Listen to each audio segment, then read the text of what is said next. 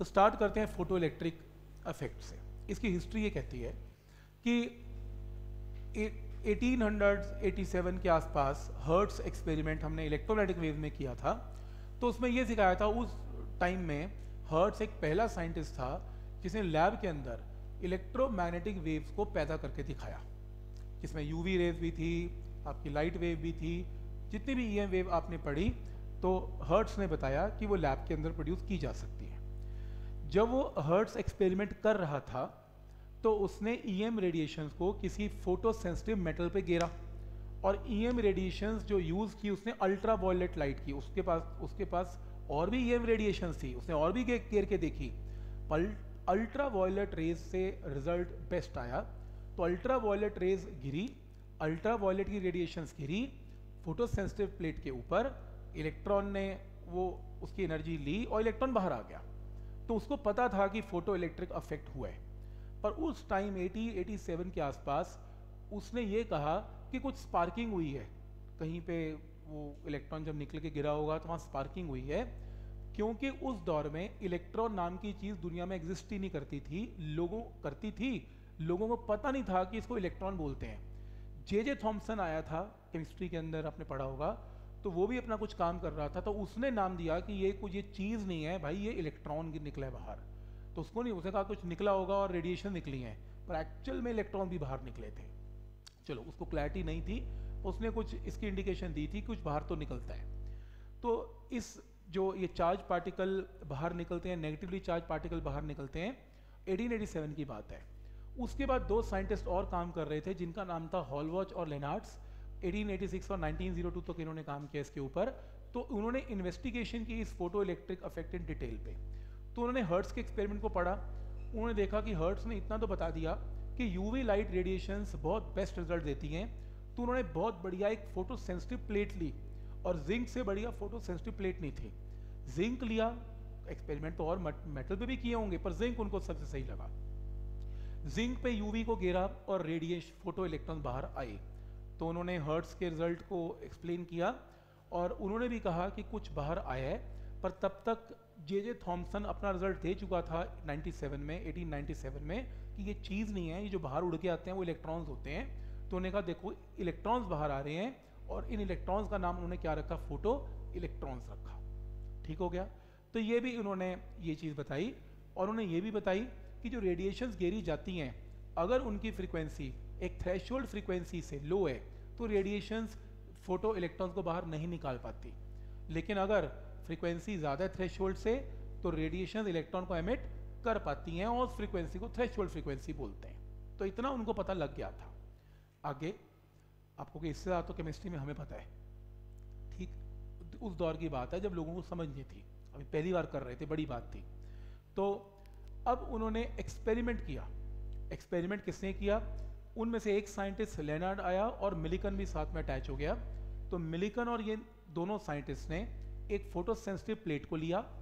यहाँ से रेडिएशंस दी फोटोन्स आए होंगे ऑब्वियसली उनको नहीं पता था ये फोटोन्स होते हैं। उन्होंने कहा रेडिएशंस हैं। लाइट आ रही है रेडिएशंस आ रही है वेव आ रही है। उनके हिसाब से क्या आ रही है? एक वेव आ रही है। उस टाइम तक वेव थ्योरी पता थी।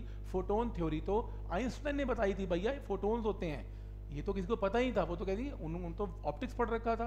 वो तो कहते कि वेव आ रही है। वेव की एनर्जी आ रही है। इलेक्ट्रॉन पे गिर रही है। इलेक्ट्रॉन बाहर निकल रहे हैं। हवा में इलेक्ट्रॉन बाहर आए। यहाँ पे उन्होंने पॉजिटिव कैथोड लगाया। पॉजिटिव ने कैच किए हवा में उड़ते हुए इलेक्ट्रॉन्स और वायर में गए तो यहाँ करंट मेजर किया गया। इसका मतलब यहाँ पर करंट इसका मतलब प्रूफ है फ़ोटो इलेक्ट्रॉन्स हवा में उड़ के आए हैं। क्लियर है यहाँ तक भी? तो फ़ोटो इलेक्ट्रॉन्स आ रहे हैं इसमें। ये एक्सपेरिमेंट उन्होंने किया। तो और बहुत छोटा करंट आता है माइक्रो एम्पियर इस रिज़ल्ट पे कुछ ऑब्जर्वेशन आई जो आपके एग्ज़ाम में भी आती हैं. एग्ज़ाम में ये नहीं आता कि साइंटिस्ट ने क्या किया. एग्ज़ाम में ये आता है कि ऑब्जर्वेशन क्या थी. वो पूछेगा effect of intensity of light on photo electric current तो अब उनकी समझ ये कहती थी कि ये जो इंटेंसिटी है, ये वेव वाली इंटेंसिटी है. वेव वाली इंटेंसिटी क्या होती है? वेव वाली इंटेंसिटी होती है एनर्जी पर सेकेंड पर यूनिट एरिया कि अगर मैं एक वेव की एनर्जी बढ़ाता हूँ तो वेव का इलेक्ट्रिक और मैग्नेटिक फ़ील्ड बढ़ जाता होगा। वहाँ से एनर्जी बढ़ जाती है वेव की। वो वेव एनर्जी अपने इलेक्ट्रॉन को देती है और इलेक्ट्रॉन बाहर आ जाता है। वो ऐसा समझते थे। लेकिन बाद में आइंस्टाइन ने बताया कि भैया, ये वो इंटेंसिटी नहीं है। ये वेव की इंटेंसिटी नहीं है। यहाँ पर कोई वेव नहीं गिर रही। यहाँ पर फोटोन्स गिर रहे हैं। और यहाँ पर इंटेंसिटी का मतलब वेव की एनर्जी नहीं है। इंटेंसिटी का मतलब है नंबर ऑफ़ फोटोन्स ये बाद में पता लगा था। ये अपनी तरफ़ से रिज़ल्ट बना रहे थे कि अगर रेडिएशन गिरें और करंट इसमें अगर हम मेजर करें तो ये देखा गया कि जो फ़ोटो इलेक्ट्रिक करंट है और जो इंटेंसिटी ऑफ़ लाइट है, वो हमेशा डायरेक्टली प्रोपोर्शनल रहते हैं। ठीक है? डायरेक्टली तो उन्होंने ये रिज़ल्ट दिया। डायरेक्टली उनको एक्सप्लेनेशन नहीं पता थी। वो एक्सप्लेन नहीं कर पाए। उन्होंने रिज़ल्ट तो बिल्कुल सही दिए, क्योंकि एक्सपेरिमेंट कर रहे थे रिज़ल्ट आ गया। पर एक्सप्लेन नहीं कर पा रहे कि एक्चुअल में हो क्यों रहा है। तो बस ये याद रखना, आपको पेपर में आएगा कि इंटेंसिटी का और किसका? इंटेंसिटी का और फ़ोटो इलेक्ट्रिक करंट का क्या ग्राफ बनेगा? आप बोलेंगे straight line passing from origin clear है?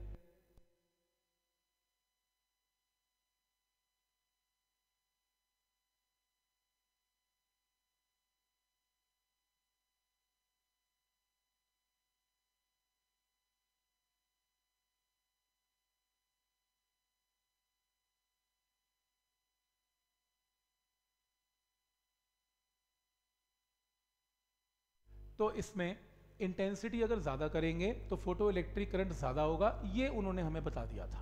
आगे एक्सप्लेनेशन नहीं बताई। बस ये बताया intensity directly proportional to number of photon ये बाद में पता लगा था कि जो इंटेंसिटी है, यहाँ पर इंटेंसिटी का मतलब होता है इंटेंसिटी का मतलब एनर्जी नहीं है इंटेंसिटी का मतलब नंबर ऑफ़ फोटोन्स हैं।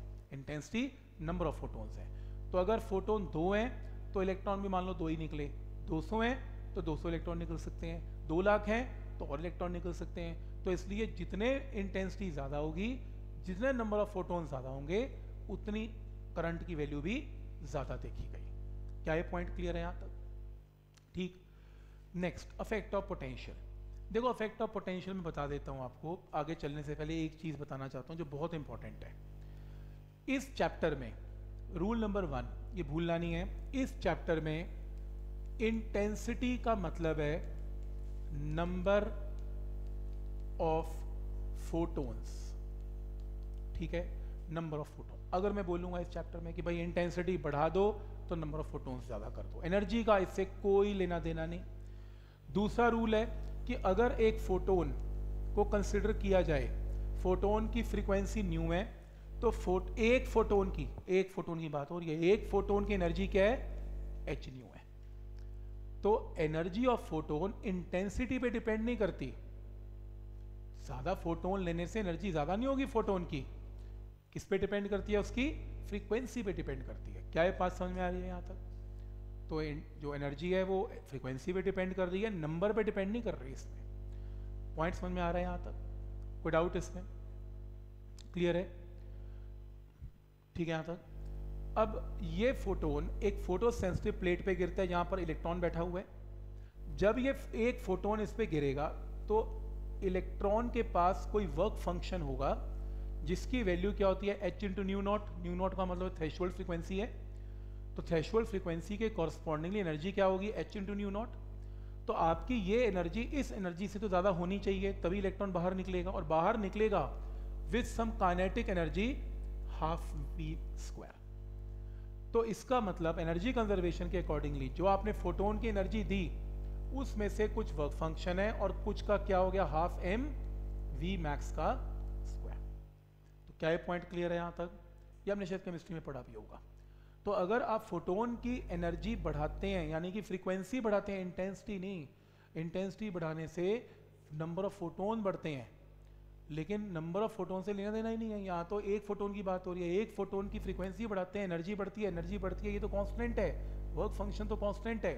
तो जब आप एनर्जी बढ़ाते हैं तो उसकी कानेटिक एनर्जी भी बढ़ती है। तो यानी कि कानेटिक एनर्जी जो बढ़ती है, वो किस पे डिपेंड करती है? फ्रीक्वेंसी ऑफ़ फोटोन पे इंटेंसिटी पे बिल्कुल भी डिपेंड नहीं करती। ठीक है यहाँ तक? कोई डाउट इसमें? क्लियर है?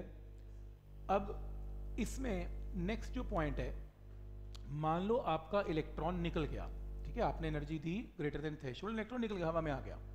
किसी ने कहा, सर इलेक्ट्रॉन मेरे पास आ रहा है, इसको रोको इसको रोको।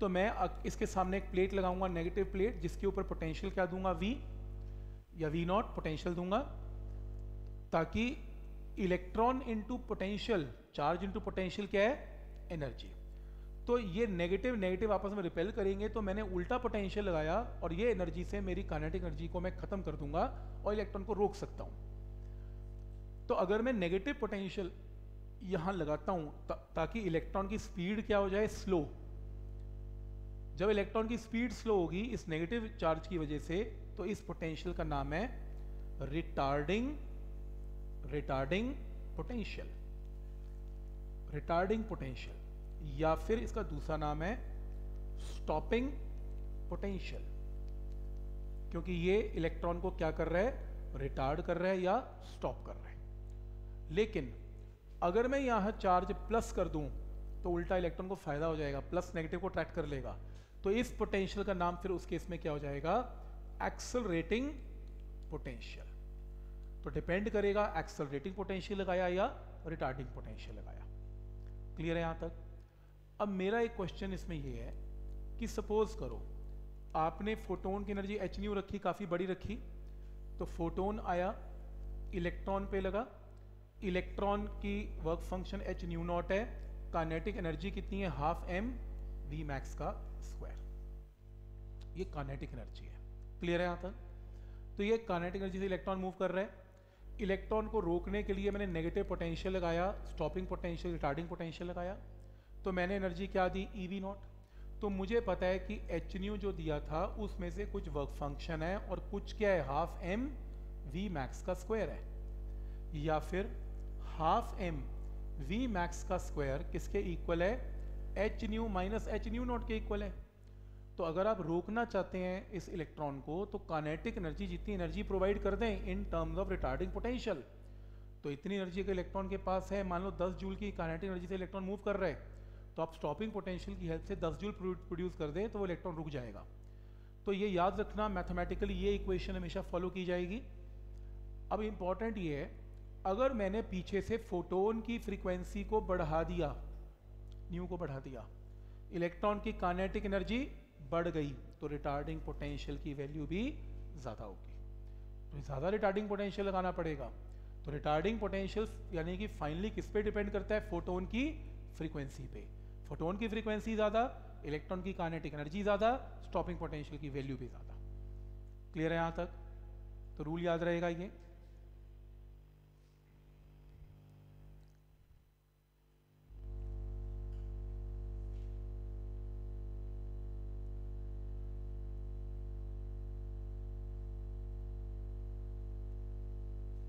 ठीक है?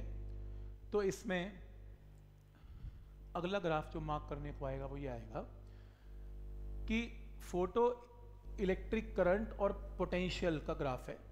इसमें लिख लेना, यहाँ पे फ्रीक्वेंसी तीन रेडिएशंस हैं और फ्रीक्वेंसी की वैल्यू सबकी क्या है? सेम लिख लेना फ्रीक्वेंसी कांस्टेंट है। लेकिन इंटेंसिटी में ये गिवन है कि एक रेडिएशन की इंटेंसिटी दूसरी से बड़ी है और तीसरी से और बड़ी है। इंटेंसिटी का मतलब नंबर ऑफ़ फोटोन्स जिसकी इंटेंसिटी ज़्यादा होगी, उसमें नंबर ऑफ़ फोटोन ज़्यादा होंगे, उसमें करंट भी ज़्यादा होगा। तो आप चेक करें करंट आई थ्री में ज़्यादा है आई टू में कम है आई वन में कम है, लेकिन फ्रीक्वेंसी सेम है। तो इसीलिए ये ग्राफ इकट्ठा होते हुए यहाँ पे रुकेगा सच दैट सबको रोकने के लिए स्टॉपिंग पोटेंशियल सेम है। क्यों? अगर फ्रिक्वेंसी सेम है तो कानेटिक एनर्जी सभी पार्टिकल्स की इलेक्ट्रॉन्स की सेम है। और अगर कानेटिक एनर्जी सेम है तो स्टॉपिंग पोटेंशियल भी सेम है क्योंकि stopping potential kinetic energy intensity पे डिपेंड नहीं करते, सिर्फ़ फ्रीक्वेंसी पे डिपेंड करते हैं। क्योंकि फ्रीक्वेंसी कांस्टेंट है तो स्टॉपिंग पोटेंशियल की वैल्यू भी कांस्टेंट है। क्या ये पॉइंट क्लियर है यहाँ तक? तो ग्राफ एक्सप्लेनेशन नहीं आएगी। मार्क कर लेंगे ग्राफ ठीक है यहाँ तक? तो ये मैंने बता दिया कि कानेटिक एनर्जी अगर इलेक्ट्रॉन की इतनी है, इसको रोकने के लिए retarding potential e v naught है स्टॉपिंग पोटेंशियल है तो स्टॉपिंग पोटेंशियल इंटेंसिटी पे डिपेंड नहीं करता। स्टॉपिंग पोटेंशियल या मैक्सिमम कानेटिक एनर्जी भी इंटेंसिटी पे डिपेंड नहीं करती। ये दोनों किस पे डिपेंड करते हैं? फोटोन की फ्रीक्वेंसी पे डिपेंड करते हैं। तो लिख भी सकते हो दे बोथ ये जो दोनों के दोनों हैं depends depends on frequency of photon photon की फ्रीक्वेंसी पे डिपेंड करते हैं। इंटेंसिटी पे डिपेंड नहीं करते।